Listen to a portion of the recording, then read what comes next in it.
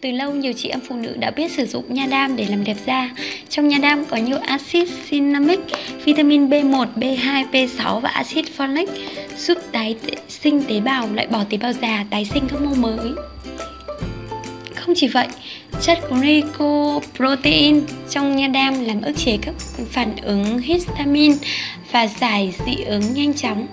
Hơn thế nữa, nha đam có tác dụng chống viêm, giảm viêm, giảm đau, chống viêm ruột, táo bón, kích thích tiêu hóa và nhuận tràng nhờ nha đam chứa nhiều loại men tiêu hóa và nhóm hoạt chất emodin và alanin Mặt nạ nha đam mật ong. Nguyên liệu nha đam mật ong nguyên chất. Cách sử dụng. Bước 1 Lấy lá nha đam tươi khoảng 100g rửa sạch gọt vỏ, thái nhỏ, sau đó cho vào nồi đổ khoảng 500ml nước nước sạch vào đun lửa to đến khi sôi. Bước 2. Tiếp tục đun lửa nhỏ trong 15 phút.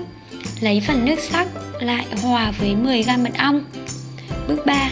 Uống nước này kết hợp với đắp mặt nạ, đặc biệt với vùng da nám để có hiệu quả tối đa. Bước 4 Mặt nạ nha đam với nước chanh trong chanh có chứa nhiều axit có tác dụng dưỡng trắng da hiệu quả. Nguyên liệu: nha đam, nước cốt chanh. Cách sử dụng: Bước 1. Lấy lá nha đam tươi khoảng 100g rửa sạch gọt vỏ, thái nhỏ và cho nước cốt chanh vào máy xay sinh tố. Bước 2. Xay nhuyễn để được một hỗn hợp thật mịn. Bước 3.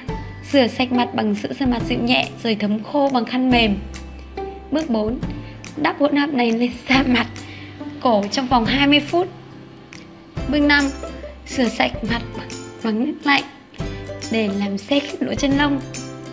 Bạn cần thực bạn cần thực hiện phương pháp này 2 đến 3 lần trên tuần để đạt hiệu quả tốt nhất.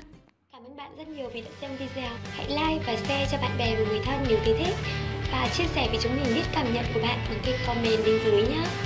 Và để không bỏ lỡ những video hấp dẫn mới nhất, bạn chỉ việc đăng ký kênh bằng nút đăng ký subscribe ở góc phải dưới video. Chúc bạn một ngày hạnh phúc. Goodbye.